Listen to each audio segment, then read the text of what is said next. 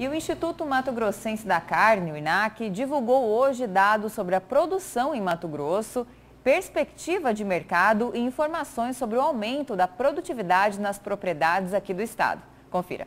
O presidente do Instituto Mato Grossense da Carne participou da Conferência do Clima em Glasgow no final de 2021.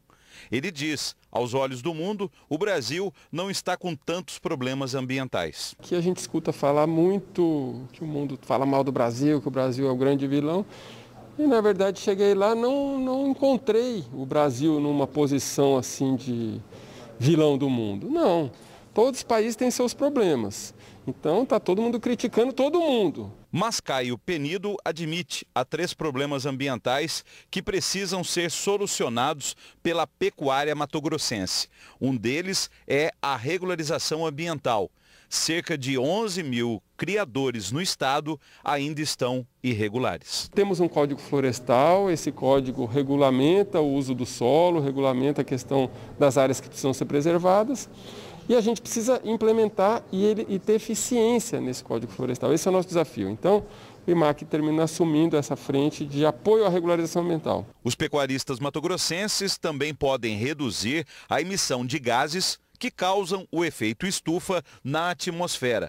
Duas ações principais são necessárias: preservar áreas ambientais e abater o gado cada vez mais jovem, com até 30 meses de cria. Seja na área de nutrição, seja na área de melhoria das pastagens, ou então no melhoramento genético animal. Então, essas, você tem três grandes oportunidades para que o produtor consiga reduzir a emissão de metano é, por animal. A pecuária matogrossense ainda pretende rastrear todo o boi criado e abatido no estado. Hoje, 85% dos animais são fiscalizados. Então, a gente quer chegar Uh, junto com o Ministério Público e as indústrias, em 100% dos abates verificados em Mato Grosso. Então, quando a gente for para fora, eu falo, ó, 100% dos abates em Mato Grosso estão sendo verificados pelas indústrias frigoríficas num filtro que elas fazem um diagnóstico socioambiental no abate.